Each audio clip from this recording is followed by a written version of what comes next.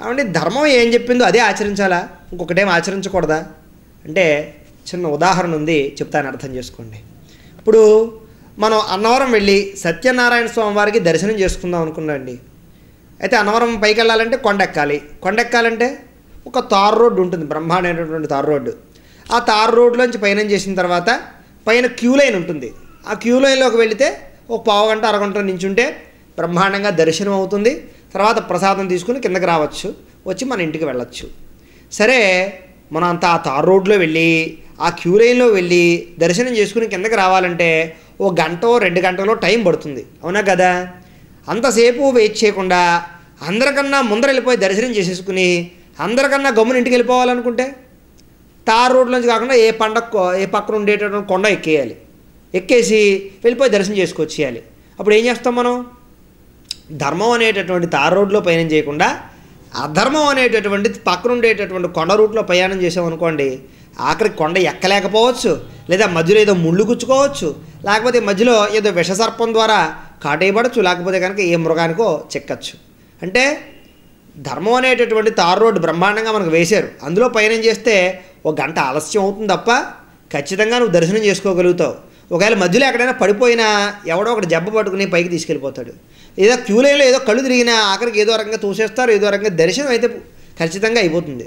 ఆఖరికి ఖచ్చితంగా నువ్వు గమ్యం అయితే ఏదో రకంగా చేరుకుంటావు. అంటే ధర్మంలో పయనం చేస్తే ఎలాగైనా సరే ఆలస్యం అవుతుంది తప్ప గమ్యం చేరుకుంటావు.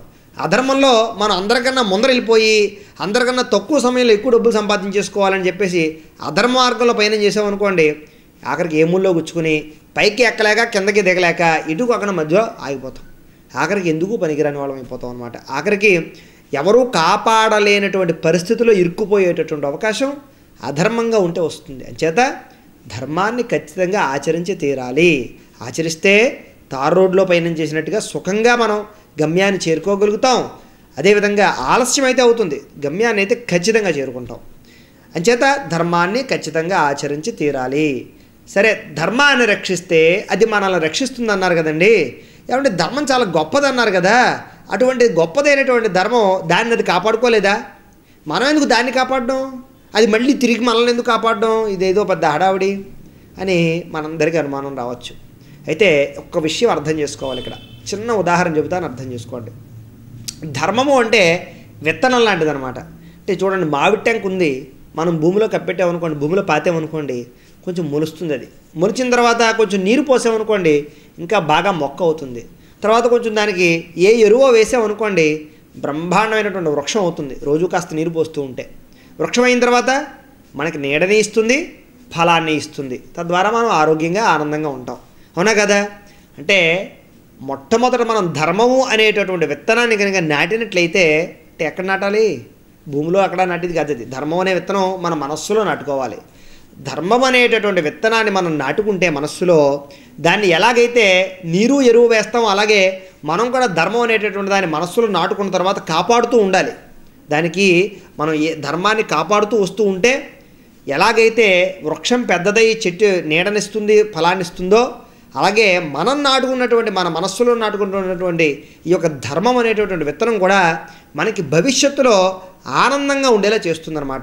హాయిగా ఉండేటటువంటి పరిస్థితిని కలిగిస్తుంది. అంచేత ధర్మాన్ని రక్షిస్తే అది మనల్ని రక్షిస్తుంది. ధర్మం అనే విత్తనాన్ని నాటితే అది మనకి ఖచ్చితంగా ఎప్పటికైనా ఫలాన్ని ఇస్తుంది అని అర్థం అనమాట అంచేత ధర్మాన్ని ఇప్పుడు చూడండి ధర్మం అంటే ఏమిటండి? ఎవరికి ధర్మం వాళ్ళది? పుట్టిన తర్వాత నీకు ఒక విత్తనం ఉంటుంది ధర్మం అనే విత్తనం. అది నువ్వు నాటుకోవాలి మనస్సులో. నాటుకున్న తర్వాత దాన్ని పోషించాలి. అంతేగాని నాటేసుకుని వదిలేస్తే కుదరదు.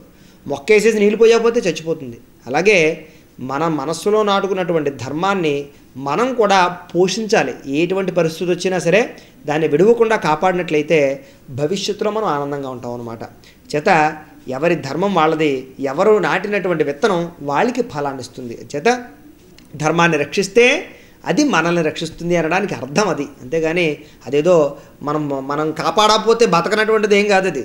చేత మనం ధర్మాన్ని రక్షించాలి అది మనల్ని తిరిగి రక్షిస్తుంది అని దానికి అర్థం అనమాట